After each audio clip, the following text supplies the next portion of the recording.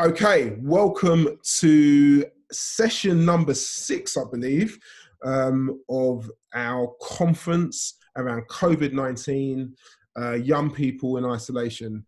Uh, thank you for everybody who's participated in the in the previous five sessions. You, if you were on before, thank you for listening to Craig. Um, and yeah, what we're going to be doing today, I'm going to hand over to John Reece in a minute, who's going to introduce himself. Uh, this particular session is around parenting in isolation. Um, and yeah, this is just a, a, a great opportunity. We know that basically that lockdown has caused multiple issues and parenting is something that we really wanted to connect in with. and I'll let John introduce himself in a minute. He's going to be speaking for about 40 to 45 minutes and then there'll be Q&A at the end. So if you've got any questions during what John is saying, just please put them in the Q&A section and then we'll we'll, we'll collate them and up, and you can answer them at the end. Of we'll I'll talk to John about them. Um, just a couple of housekeeping rules. Uh, as always, we are expecting people just to be really polite. We don't mind challenging questions, but if there's anything which we find offensive, we'll just politely remove you. But other than that, um, you are you are we are open and happy for you to ask any questions you want. Um, so thank you very much. I'm going to hand over to you, John. Right, thank you for that intro, Ben. Um, I can't see any, anybody apart from Ben, but um, it's nice to. Well, I'm glad that you're all here anyway. Um, so today I'm going to be talking about parenting in isolation um, during COVID. Um, I'll go through a bit about me first. I don't think I can actually. Right, it's not letting me. Just click on the, on the bottom. Uh, okay, right, okay, yeah. So um, I'm a therapist. I work with children, young people, and families. Um, my main job, I work with young people that have been affected by serious youth violence. Um, following an instance of serious violence, I also work with parents and carers. You know, for the for the same thing, helping them um, when their child's been uh, seriously hurt other than that, I also work as a school counsellor um, one day a week. And some other times I'm doing clinical supervision for frontline practitioners who work in um, violence and trauma. Um, I'm a parent myself, um, got two small children, five months and three years old.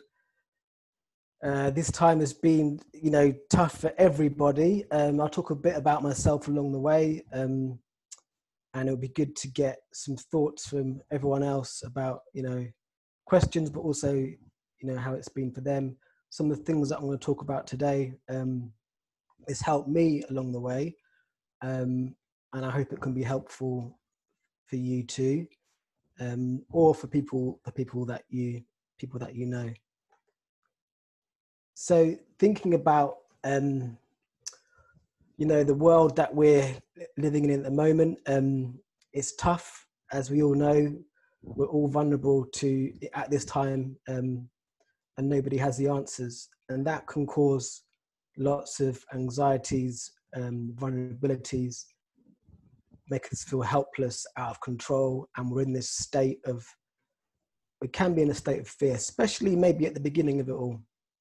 I know for me that's when i was first most worried about it, most worried about my children, worried about my parents who are elderly, worried about family, friends, you know, worried about work. Um, luckily, the field that I'm in, I don't have to worry too much about work, but I know there's lots of people that are have been worried about their jobs, worried about um, their kids go to school or not, worried about family members, worried about looking after someone that's vulnerable. There's so much to worry about at this time. Um, that's just completely taken everyone by surprise.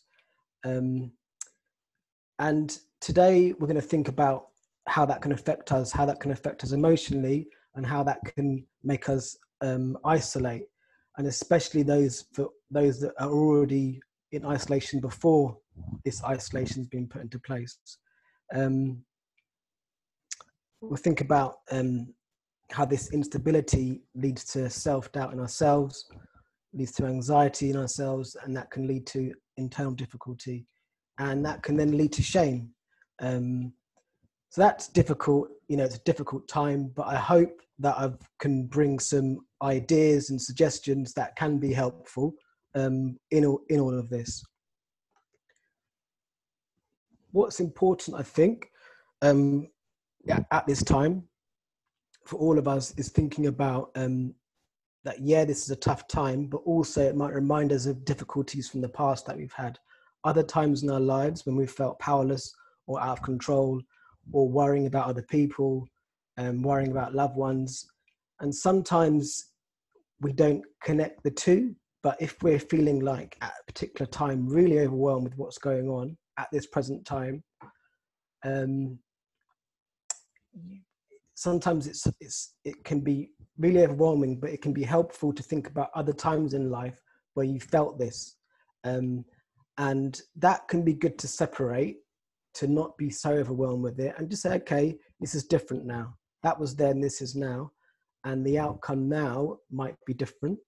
Um, we don't know it, but it, it, can be good to separate. I was speaking to a parent the other day, actually, um, who was saying to me that she was at the beginning of all this really struggling with what was going on and was trying to work out why, in particular, so much. Um, and it brought her back to when she was younger and she was a child and she was taken into care so that sense of being out of control that sense of not knowing what the future held really came back to her um, and that's painful for her but it was really good for her to recognize that and to think about the differences now and she said also that enabled her to be more present with her children during this time because she was able to separate those two things and they're difficult to think about, but they can also be really helpful to think about um, as a way to try to um, reflect on the situation that you're in and to think um, to think deeply about it, but also to try to be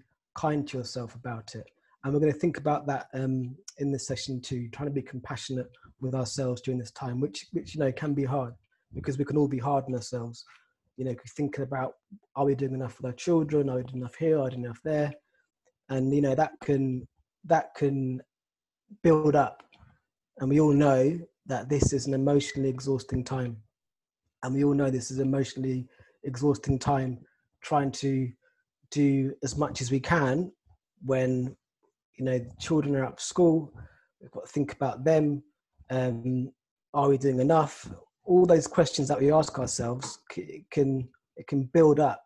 And if we're not talking to people um, the self-doubt the self-criticism can just increase and increase and it may, can, can make us withdraw from other people. So thinking about that you know when this covid first happened um, well in, in, the uk i don't know where everybody is but um, reading on the news, social media, it causes us to be in this state of threat, fear, panic. Naturally, what we want to do when we feel that is go to our caregivers. We want to um, be with our loved ones. We want to give somebody a hug. You know, that releases um, oxytocin, love hormone that induces positive feelings. It can calm you down. If you can't do that, then you're to, you, it's to be it's to feel so strange it's to feel unnatural. So naturally biologically when we're under stress or under pressure we want to be with people that we be careful that can look after us. If we can't do that if we can't do that it feels unnatural the stress builds up. It's important to notice when you're stressed what's happening in your body because that can be a really good indicator of how you're feeling. And sometimes you can feel things in your body before your mind's actually thinking it. And some of the things we're going to do today is try to be a bit more aware of that. Um, actually let's let's try it now. Um, let's try one exercise now. So one of the, some of the things that we're going to do today is a couple of practical tips to help us when we're stressed. So um, it's hard that i can't see but i'll just imagine that you're following what i'm doing okay so what i'd like to do is to close your eyes make sure you're sitting comfortably or if you're laying down, laying down, but as long as you're comfortable. And just so close your eyes um, and then just notice how you're feeling in your body, how are your shoulders feeling, How's your jaw? Is your jaw tense? Is it a bit tighter? Just relax your jaw. And now we're going to try a simple breathing exercise where you're going to breathe in for two seconds through the nose and you're going to breathe out for four seconds through the mouth. And when you breathe out for four seconds, I want you to imagine that you're breathing into a straw really gently. So it's in for two, out for four.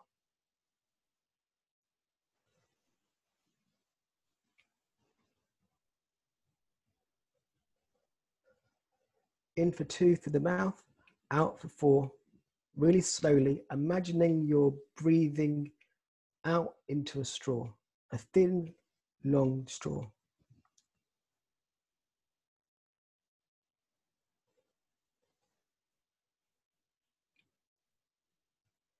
And just try that for about, I don't know, 20 seconds.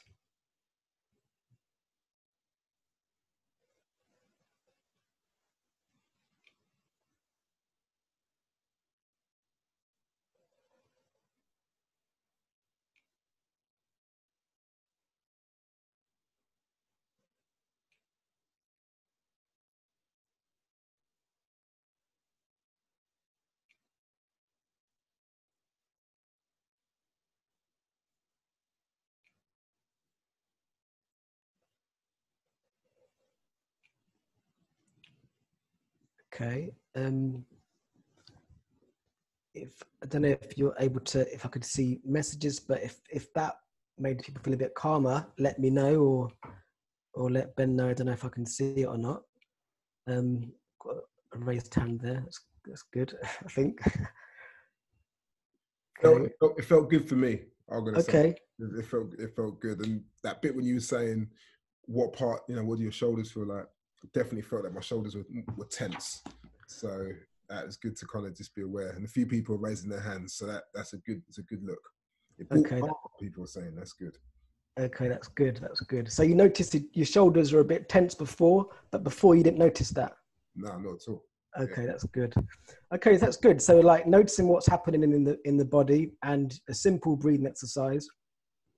I remember I heard someone say on social media, I don't need somebody telling me how to breathe in this situation.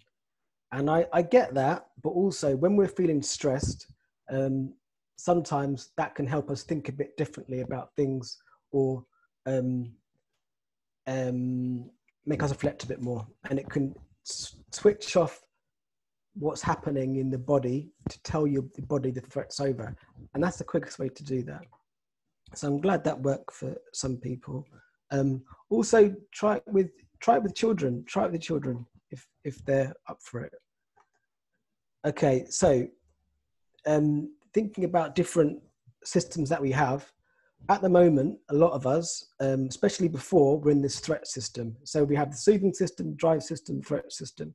Too much of our times at present, not just because of COVID, but also because of other things going on in the world, racism, injustice, it's put us in a, in a difficult situation where it's upsetting us. And just like what's happening in the world now, that can remind us some difficult things from the past too with ourselves.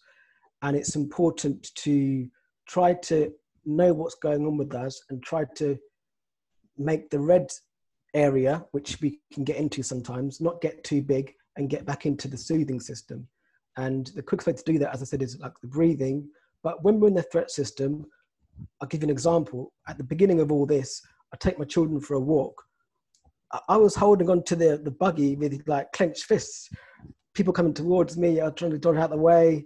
You know, I'm looking at what they're doing, get out of my way, you know. I was tense going for a walk with my children. It's meant to be my relaxing time before I start work.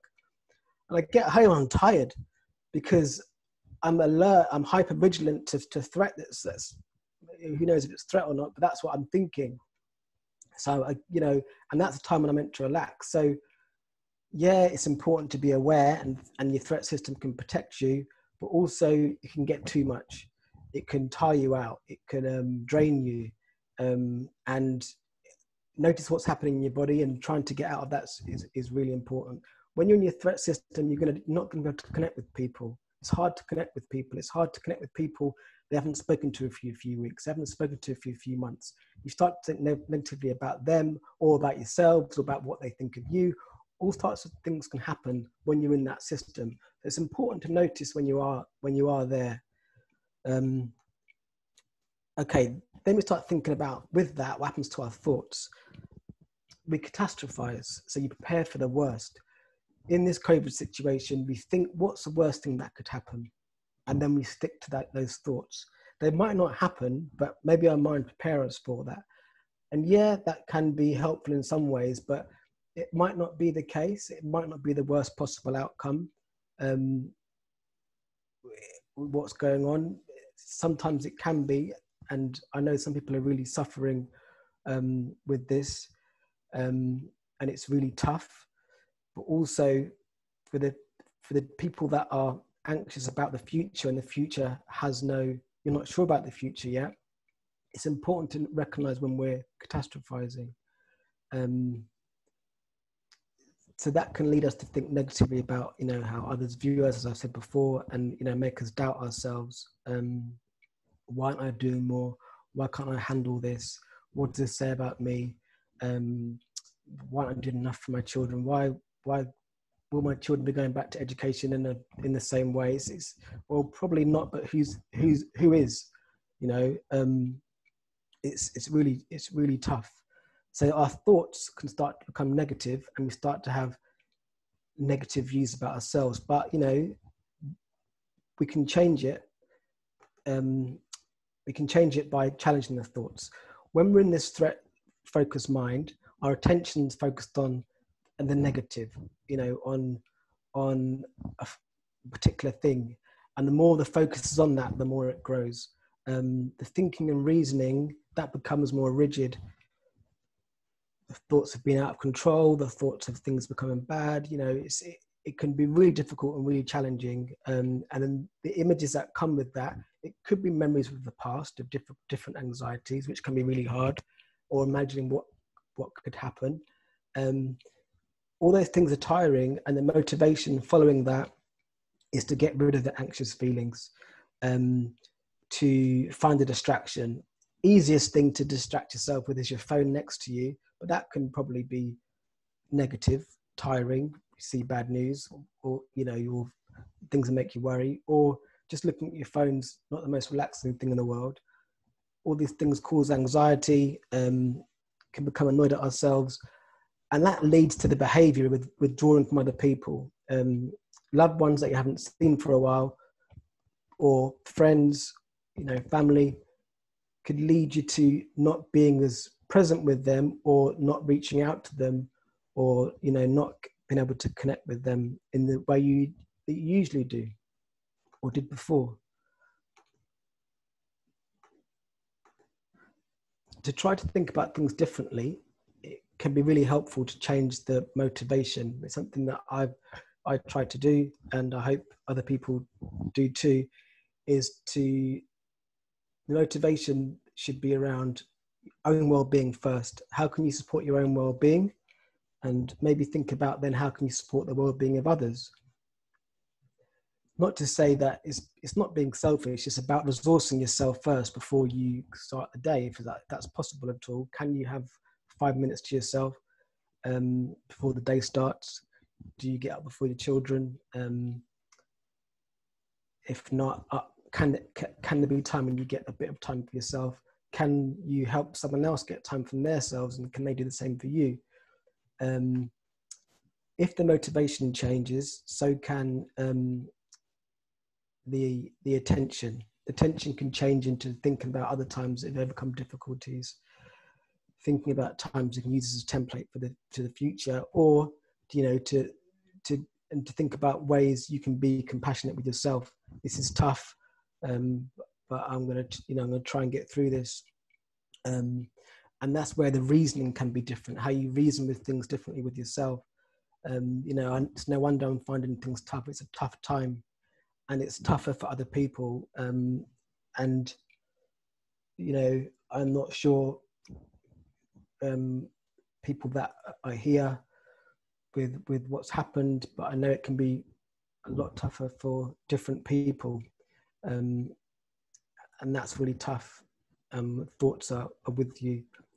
You know, thinking about um, the behavior of others during this time. If you're finding it hard to relate to other people, think that their difficulties are related to the stressful time too. Um, the imagery, images that come up, can you think of someone positive? Can you think of or your compassionate self that can, you know, can can smile at you and say, you know, things said before, it's tough, but you know, you can get through this. Someone that's in your life that, um, you know, past or present, maybe difficult when it's past, but someone that can be a smiling face looking at you saying, you know, I'm with you um, or or yourself, or you know, um, who you can use if it's to do with your faith, how you can use your faith in these times too. So th- this is another exercise um, I'd like you to do. Just uh, just a minute though. Um, the same breathing exercise as before, um, but just notice, do it for like 20 seconds actually, you haven't got much time. 20 seconds, the same breathing exercise, and just scan your body from head to toe and what you notice.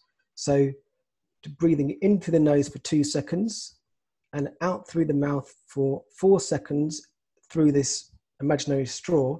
And just first of all, notice like the soles of your feet and notice how that feels against the floor, moving up the legs, notice like the temperature of the bottom of your legs, of your thighs, should be different from the top. Notice that. Notice how you feel stomach, chest area. Notice how your shoulders feel. If they're a bit tense, just relax them. If your jaw's a bit tense, a bit tighter, just relax your jaw. Where's your tongue? is it the roof of your mouth. Just relax your tongue and just, just do the breathing.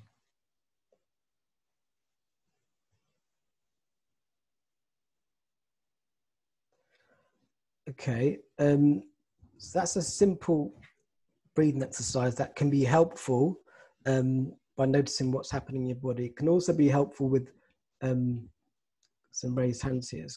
I think that's I think that's good. Um, can also be helpful with um, health anxiety, but something to talk about. I know the people I've been speaking to have, have had health anxiety because of this. Um, we'll talk about that in a sec.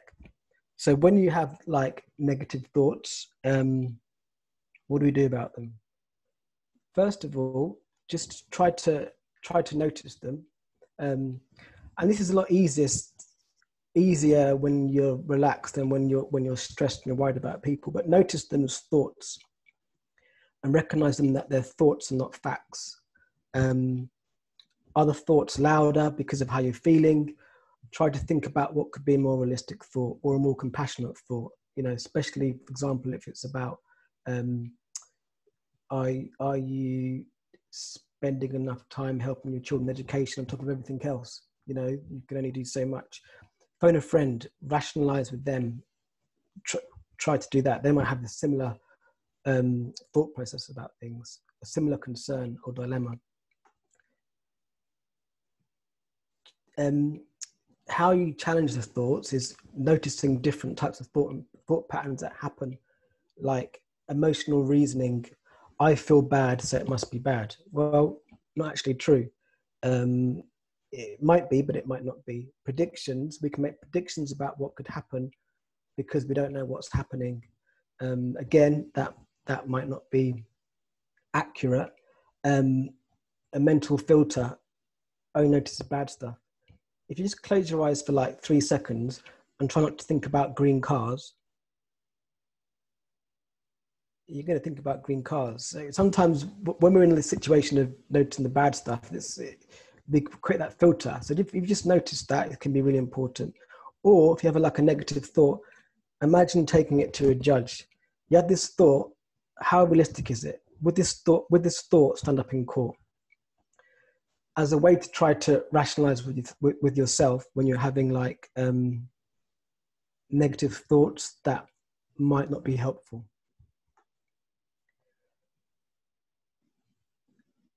this is like an example of you know different types of thoughts. Um, narrow thinking, narrow thinking on threat. We talked about um, broadening things up, thinking about what else could be going on. Um, speaking to people can be really important in this time if you if, if you can do that. Um, instead of judging and, and labeling, try to focus on understanding and being more compassionate with yourself.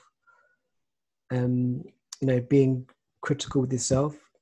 It, once you're able to slow things down, it can be non-critical, empathetic, encouraging, um, and really trying to change the way that you're, um, you know, you're thinking about yourself or other people. Try to think about it in a different in a different way, activating the soothing system, which we had up earlier. So, for um, you know, children and young people in education, um, it's such a tough time, isn't it? You know, there's lack of structure. It's it's hard to concentrate at home. All the things above. Imagine, you know, children in this, they're in the threat zone too. They're missing their friends. Don't know what they think about school, but this day environment and lots of kids I speak to are missing just being in that place, being in the environment. And no wonder they're lacking motivation. Could be worried about relatives, um, could be seriously worried about relatives. As some young people I'm working with who are who are vulnerable parents, um, or you know, people that are really worried about losing people and how tough that is. Um, it's hard to feel settled and it's hard to think. So it's no wonder that you know children are struggling to concentrate. It's no wonder it's no wonder. It's whatever they do do at this time. That's it's, it's really good um, and really important. So, not sure what works for other people. It'd be good to hear at, at the questions at, at the end. Um, but one thing that, that has worked for the children I've spoken to is trying to set some timetables in their day. Also, I think that's good.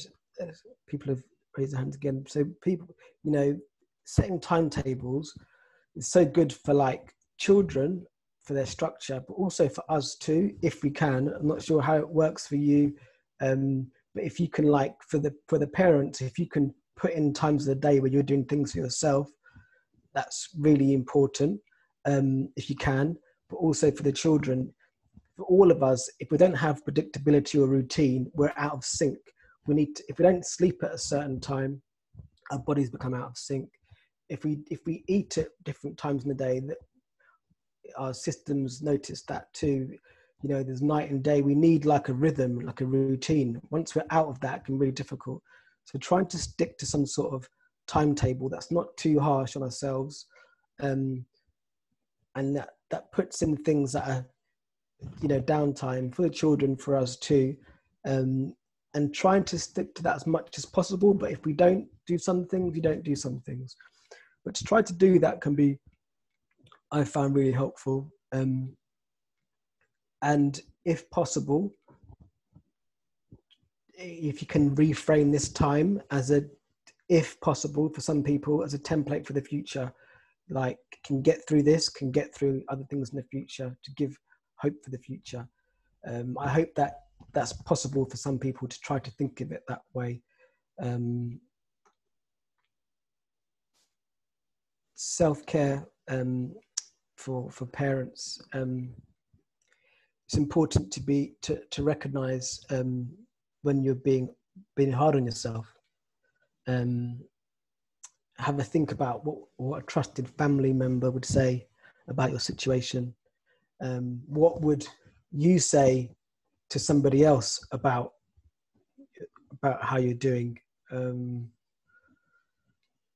recognize you know how much you've done um, during this time um, acknowledge how tough it is how unnatural it is um, but you know that, that you're trying. All the things talked about before it's in our biology not to, to, to be with people. When we can't is it makes things so much harder um, to acknowledge how tough it is and to know that to know that you're to know that you're trying.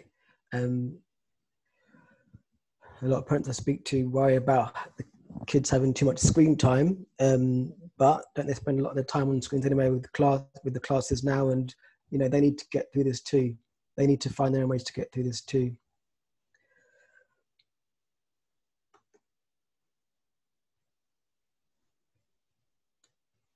Thinking about what you can do for yourselves um, how much of it, how much of it can you have 10 15 minutes to yourself? Half an hour hour what, what can you do? Um, this is possible. Can you go for a walk um, by yourself and you know to take in what's around you and not try to think about anything else? Um, I, it made me think actually working with somebody um, 24 hours a day has to look after somebody in difficult situation and has some help but won't do things for themselves because sometimes we don't do things for ourselves because we're guilty. And i think we can all think about that as parents. We can feel guilty about doing things ourselves. We need to do we need to keep on giving and giving but actually you need to do things for yourselves too. So the person that i was i'm working with tried to get them to do 10 minutes walk by themselves. Okay how was that? How did that feel? The person to me you know what? I felt a sense of i felt um calmer. I felt a sense of like freedom. I felt felt good but afterwards it was difficult. But that 10 minutes is good you know that 10 minutes now i'm going to try and build on that um with them. Um and if if you can build build up 10 minutes 15 minutes whatever it is hour a day if you can do that that's that's great. I'm not sure what people's situations are like but setting in a time of day where it's just for you where it's either um, exercise um, uh, listening to music that you like wh- whatever it is connecting with people that you, you don't usually whatever it is if you can set aside that time in a day or every other day that can be helpful all the things I talked about before are, I guess, show why it can be easy to withdraw and to isolate when we're going through um, difficult times. We start to doubt ourselves and question if people won't even speak to us, or or we're going to be a burden, or we're going to be, you know, if we're going through a difficult time. Um, but sometimes reaching out and then noticing how that feels can be really helpful. We're going to do one last exercise. Um, we've got to finish it at three, but one last exercise before before that, and it's based on the last couple that we've um, that we've done. Um, so, what I'd like you to do, um, same thing as before. It's going to it's going to be like for like three minutes. So again, it's um, it's a breathing exercise, but we're going to think of a memory. So what I was saying before was um, we can think of negative things that can make us feel anxious. You know, can really like feel it in your bodies, and it can affect how you are day to day. I'd like you to think of um, a positive um, memory. So it could be, you know, you with friends, you with family, a good memory where you felt connected. So I'll give you a minute just to think about one of those. Could be a holiday, could be a sense of achievement, where you're happy, where you're content. So think of that memory.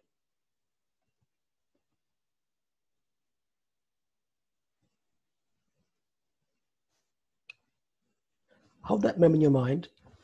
And now, just imagine if you'd have that memory now, what would, if you took a snapshot of the best moment of that memory, what would it be? What would the picture be? Who's there? What are their faces like? What's the weather like?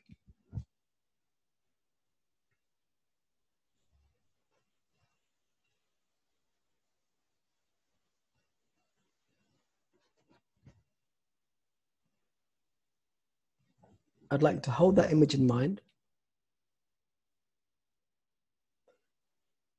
and just do that. Just notice your breathing. Breathing in through the nose and out through the mouth. In for two, out for four, really slowly. And just hold that image in mind.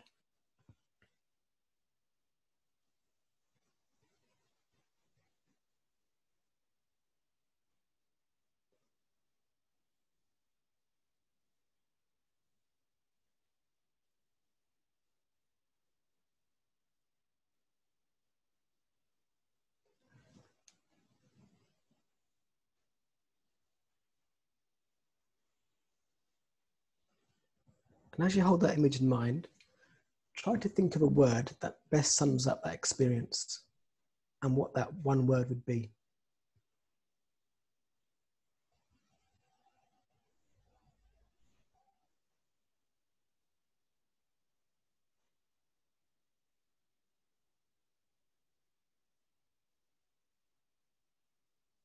And just say that word to yourself as you picture that memory.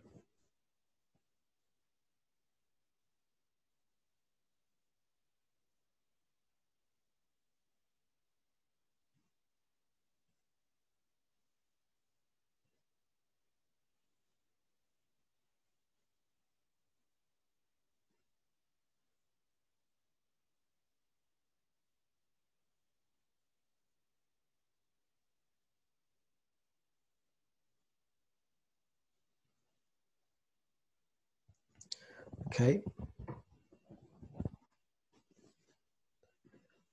Just um, come back and um,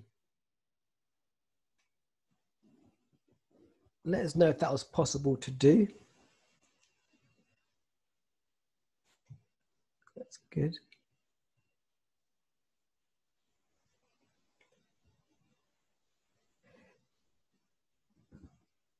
It'd be good to try to um, practice that um, at different points. Um, I try and do it um, at different points of the day. If I'm having a tough day at work, I just try and do that.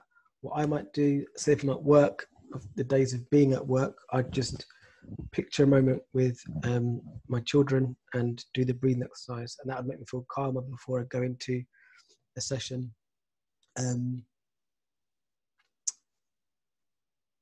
so I hope um, you know this has been um, helpful. Um, when we're in those difficult moments, um, try to use some of these these thoughts, or try to challenge some of these thoughts, um, and and to reach to try to reach out to people if possible, and then notice you know how that feels. And notice that withdrawing could be a response to how you're feeling but withdrawing further could only will only escalate the negative feeling. Um, and everyone's got different situations of who they can reach out to and that's um, that's understandable. Um, but, but what options are available to you and try to think about that. So i think it's three now, so I think um, Ben's gonna. That was so um, so helpful and just so calming, and for somebody who has had three children in isolation to even be able to do that, I'm gonna um, definitely uh, take that on board. So I think it'd be great just to open up for questions because I know, obviously, with your psych- psychologist background, there may well be some people who've got questions about specific issues they're going through so there's a couple in the in the chat already. Um, so one from Nicola, working with health visiting, working with the well, sorry, working with the health visiting team for NHS Healthy Child Program. Parents are our first contact. Mm. It is a strange, tough time. We are experiencing lots of anxiety, and especially for new mums who have mm. just given birth. Are there any specific strategies you could suggest to support these families? So, um, families that just had um, a, a, newborn um, with less net. What's depend? I guess it depends who's around, what the support networks are existing, um, and that I, I guess that's really important to try to establish first of all. Um, who is in who is in this family's life, who's who's close by, um, who's who's trusted, and if there are people, um, but there's no there's no connection there, what can be helpful to explore what some of the reasons are. Um, is it is it because um, you know people are not available to help? Is it because people are not available to connect, or is it because um, this person's feeling worried about they're not they're worried about to reach out to people. Those i think that's important to establish first of all. Um yeah. you know thinking about people's mental health mental health postnatal is really important to think about also um and what's what what's around in the community for for that person. I think those things need to be explored first. Um and to assess um, you know people's moods people's people's mental people's mental health. Um, i think there's quite a lot of things but strategies um, i hope some of these um, would be would be helpful. Um, and i was wondering if there's any um, particular websites you can look at like mind um, but I think trying to establish what's, you know, you can't get connection with people. That's the best thing, isn't it? And um, I think it's important to try to establish what's there for people first. I think it's a really good point. I think, I mean, I've got friends of mine They've had children in this time. It's been really difficult not to be able to see extended family. Mm. But I also am aware that depending on what net, existing networks, like you're kind of saying, people to are connected with. So whether that's in a faith community, whether mm. um, but even if you're not connected to a faith, mm. what I found definitely in a church context that even if you're not connected to a church, the church would still be happy, mm. provide meals, provide people to come and mm. connect in.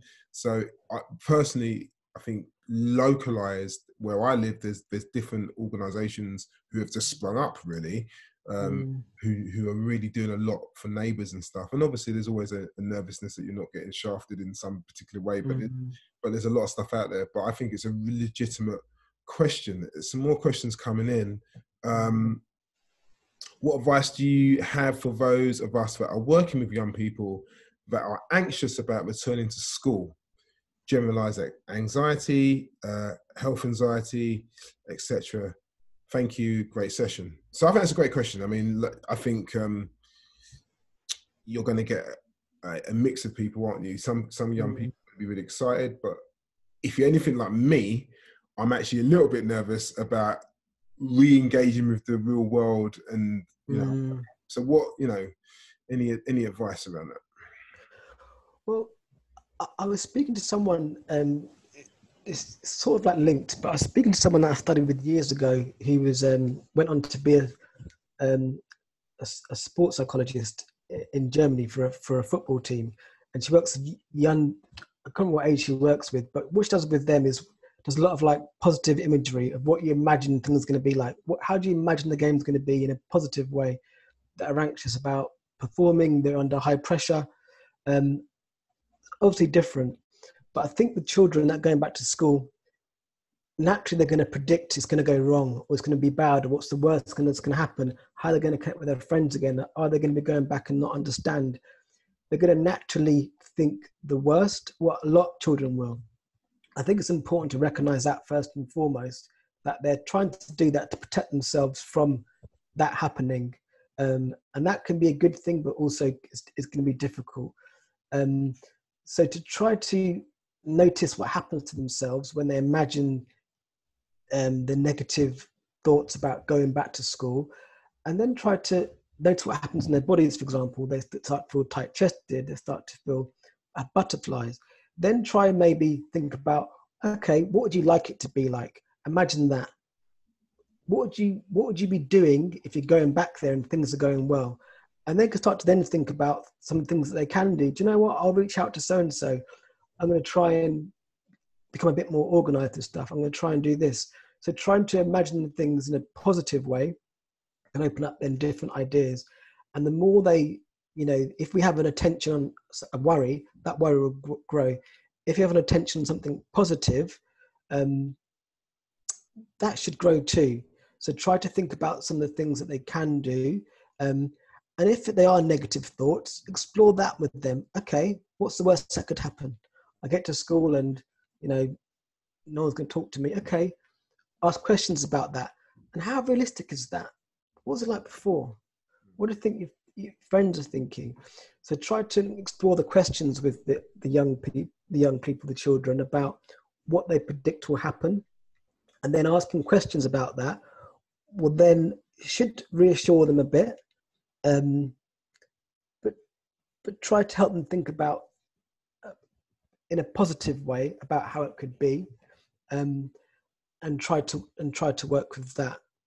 Before you know, but first of all exploring what the negative what they think could happen. That's important to explore with them so that's out there. And then think about okay how else could it be?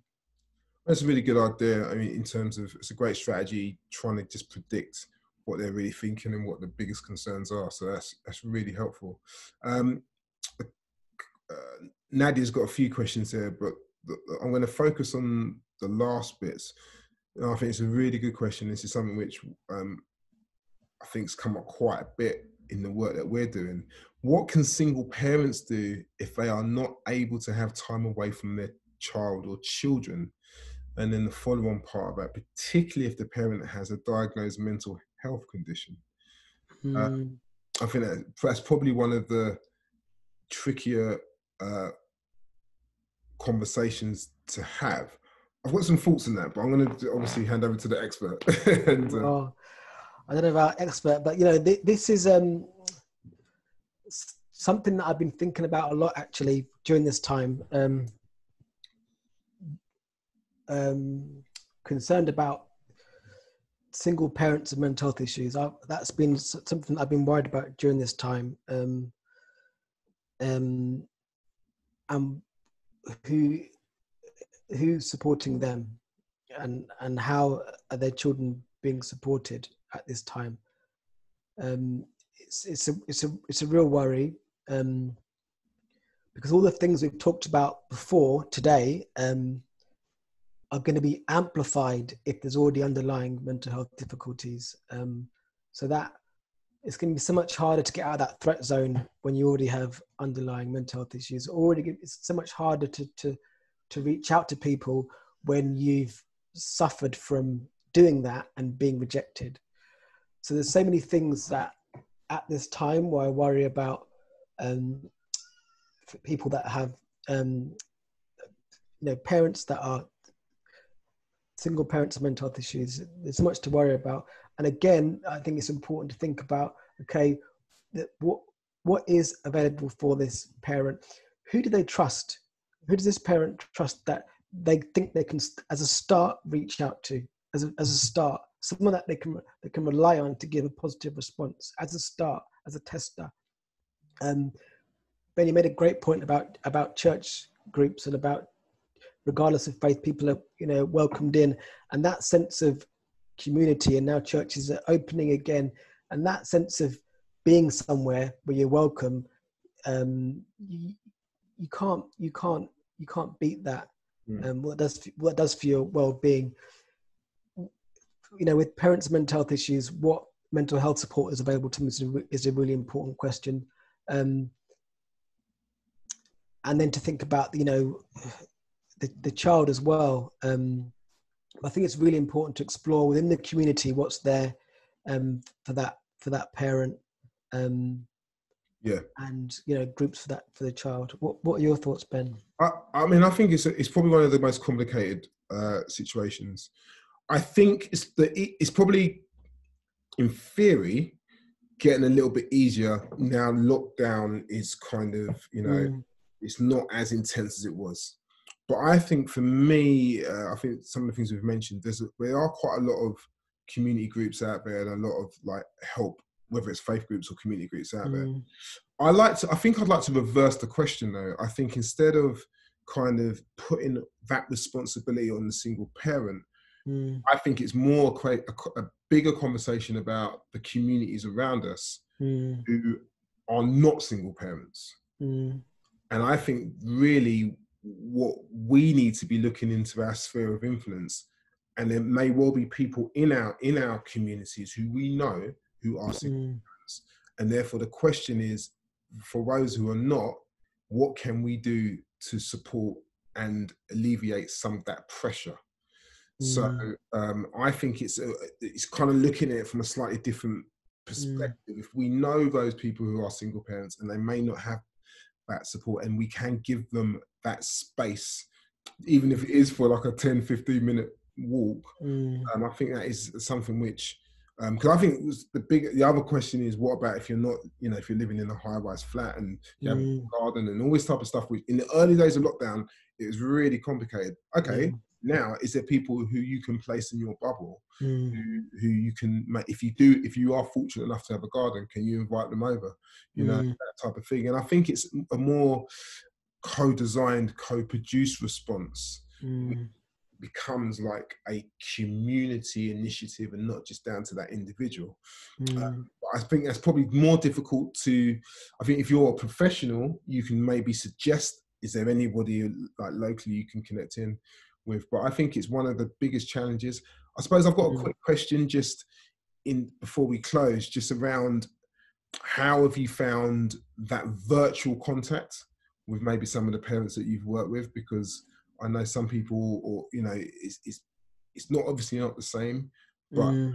is there any kind of uh, challenges or even like positive things where you can say actually it's worked really well? Just just quickly, just mm. opinion on that. Well, some some um, parents that I've spoken to, um, it's been easier because they're at home. They don't have to, you know, come to me. So the, there's not the issue of like um, travel time. They're at, they're at home. They can pick up the phone.